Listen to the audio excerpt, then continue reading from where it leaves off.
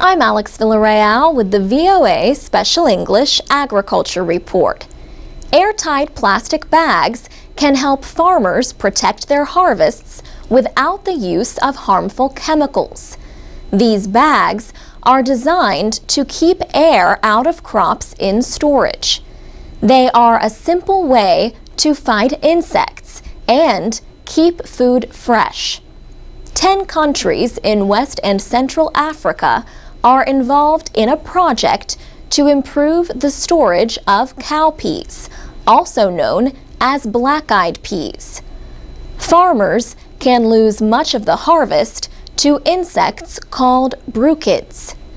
These grow from egg to adult in a few weeks and then lay 40 to 60 more eggs. They can destroy the whole harvest within months. Farmers can sell their crop immediately. But selling at harvest time means more competition and lower prices. Or they can use pesticides to kill the bugs. But crop scientist Dieudonné Baributsa says that is also risky. He said farmers may misuse or overuse the pesticide.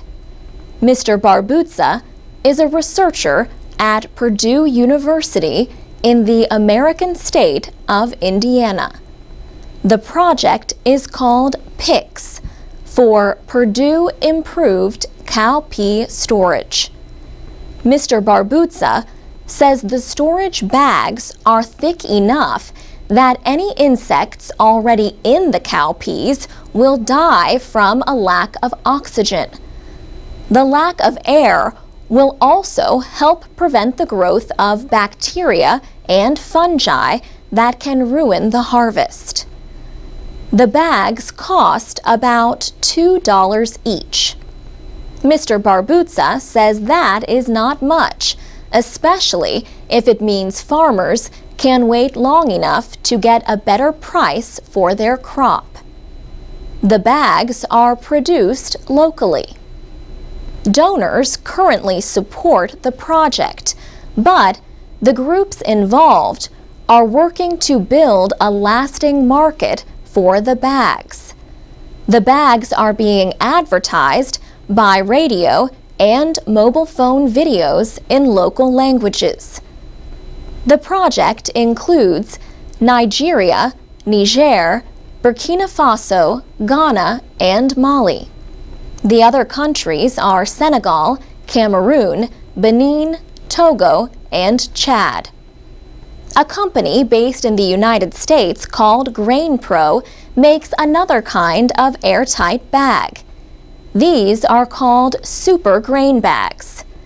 Phil Villers, the company president, says safely storing a harvest not only earns more money for farmers, it also reduces the amount of food lost to insects, spoilage, and mishandling. For VOA Special English, I'm Alex Villarreal. To see what the PICS bag looks like, go to voaspecialenglish.com, where you can also find transcripts and MP3s of our reports.